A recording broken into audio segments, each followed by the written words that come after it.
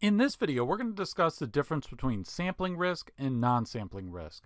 So both of these have to do with the auditor making an incorrect decision. But sampling risk has to do with the sample not being representative of the population from which it's drawn. So let me give you an example. Let's say that you're looking at accounts receivable, and here's our population. This is all the different accounts receivable accounts, but then we just draw a sample we just draw a sample of the account receivable accounts and we're trying to see if they've been overstated.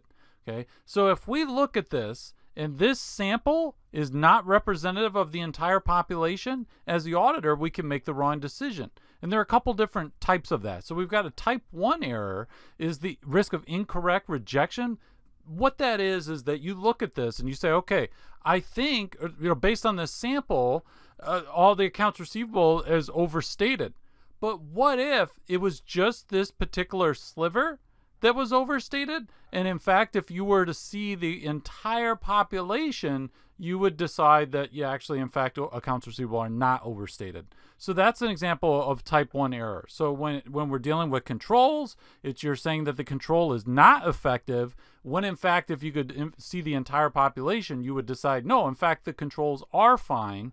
And then when we come to substantive testing, like for example, accounts receivable, the balance of that, you're concluding that it's material mis materially misstated when it in fact is not. So you're rejecting when in fact you should be saying, oh, every, everything is fine, but you're you're inferring that there's a problem. So that's a type 1 error and a type 2 error is the opposite. Type 2 error is you're saying, "Oh, the controls are effective," when in fact they're not or you're looking at the balance and saying, oh, the accounts receivable balance isn't overstated at all. Everything is fine. When in fact, if you were to see the entire population, you would draw a different conclusion as the auditor and say, no, in fact, it, it is overstated. Okay, so that's the difference between type 1 and, and type 2 errors.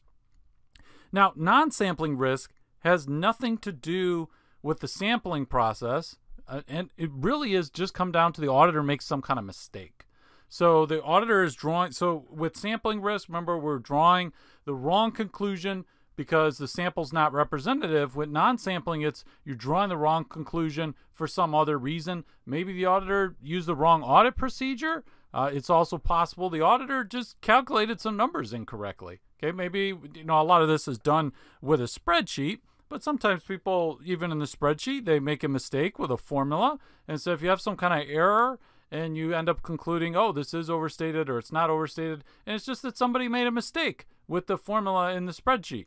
Eh, or if they have the, the appropriate evidence and they just don't know how to interpret it. So there could be any number of reasons where the auditor makes a mistake and it doesn't have anything to do with the sampling at all, but the auditor ends up uh, having the wrong conclusion drawn. Okay, so we've got sampling risk and non-sampling risk. Now, sampling risk, you can actually quantify it using probability and so forth. You can, uh, you can understand what your sampling risk is, but non-sampling risk, due to its nature, you can't have any idea of how many calculation errors are going to be made or whether people are going to interpret evidence correctly or not. So you can't quantify non-sampling risk in, in the way that you can with sampling risk. And sampling risk can also be controlled by making sure, again, using probability and so forth, that you have the appropriate sample size. Okay, so for example, if we're talking about okay, the issue with sampling risk is we're having a non-representative sample. Well, what if uh, our sample is non-representative because we didn't have a large enough sample size? What if we had a larger sample size?